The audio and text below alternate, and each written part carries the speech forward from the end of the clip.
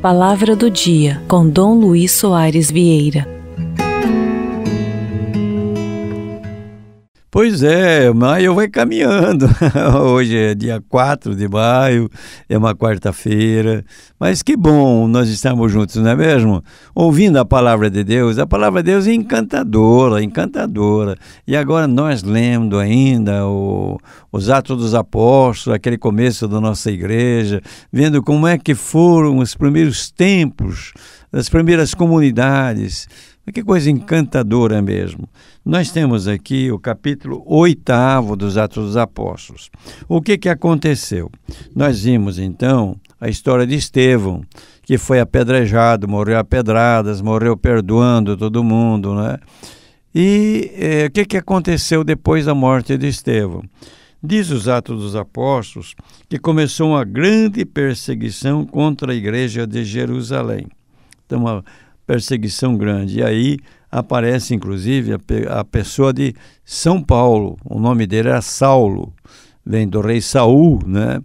E, e São Paulo era jovem ainda, muito entusiasmado com a, a religião de Moisés, quando vê surgirem as primeiras comunidades cristãs, principalmente a comunidade de Jerusalém, ele se, se, se, fica indignado e começa a ajudar nessa perseguição.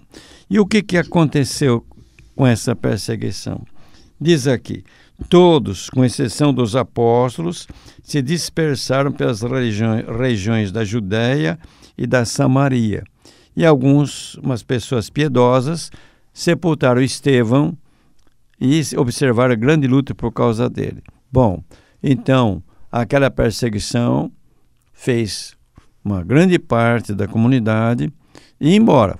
Eles pensaram assim: olha, vamos ficar aqui, esse pessoal tentando nos matar, matar nossa família. Não, vamos viver nossa, nossa fé em outros lugares. E partiram para outras regiões, não é?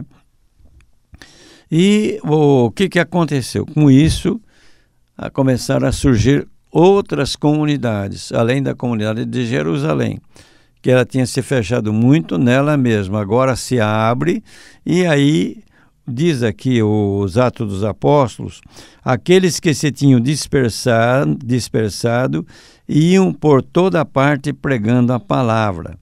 Portanto, iam fundando comunidades, pregando e fundando comunidades.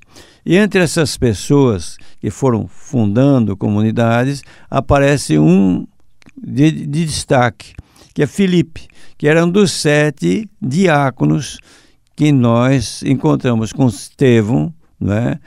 fazia um grupo, fazia parte daquele grupo de sete diáconos. E o Filipe, ele foi para Samaria, que era uma região um pouquinho mais longe lá de Jerusalém, e anunciou o Cristo.